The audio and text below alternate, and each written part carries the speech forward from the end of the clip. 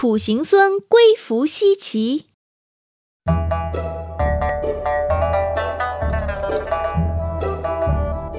纣王身边有个名叫土行孙的人，长得就像小矮人一样。土行孙虽然个子不高，却擅长土遁术，一眨眼的功夫就能钻到地底下去。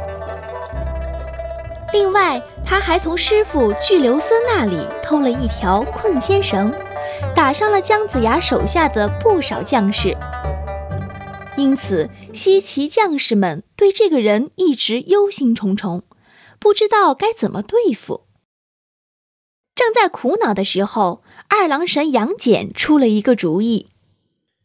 听说土行孙是巨留孙的徒弟，要是把巨留孙请来，说不定能想出对策呢。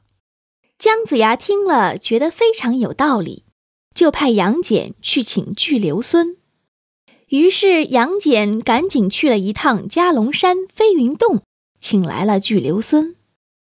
姜子牙非常高兴，马上下令再次出战对付土行孙。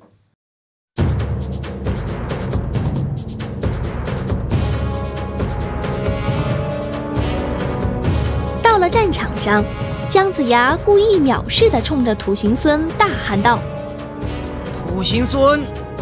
你还敢跟我打三个回合吗？土行孙听了非常恼火，心想：小小的姜子牙，我怕你不成？看我怎么对付你！一边想，一边拿出困仙绳，就一蹦一跳的向姜子牙冲了过来。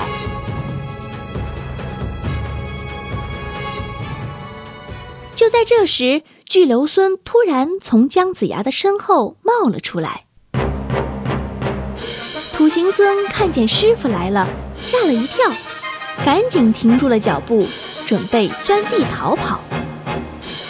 巨留孙早料到土行孙会使这招，就手朝地上一指，说了一句：“不要走，看你往哪儿跑！”这一下。土行孙周围的地面变得比铁还要硬，他磕破了脑袋也钻不进去，急得团团转。杨戬等人见了，赶紧上前捉住土行孙，并将他绑得严严实实的，交到了姜子牙和巨留孙的面前。巨留孙知道土行孙之前所干的事情，非常生气。就大声训斥道：“该死的家伙，偷走我的困仙神不说，还助纣为虐，看我怎么收拾你！”说着就要狠狠地教训土行孙。土行孙吓得大叫饶命，还连连叫嚷着自己是受到申公豹的蛊惑才这样的。姜子牙一听见申公豹的名字，赶忙拉住巨留孙。让土行孙一五一十地把事情的经过说出来。原来那一天，土行孙正走在路上，迎面遇到了申公豹。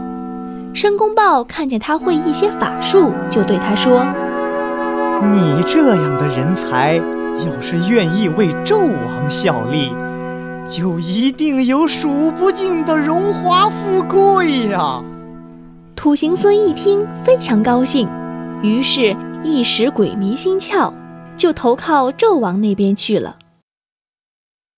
不过现在他知道了纣王残暴的本性，也就后悔了。姜子牙觉得土行孙本性还不坏，而且还有些小的才能，就决定不杀他。土行孙非常感激，答应留在姜子牙的身边。帮助西岐讨伐商纣。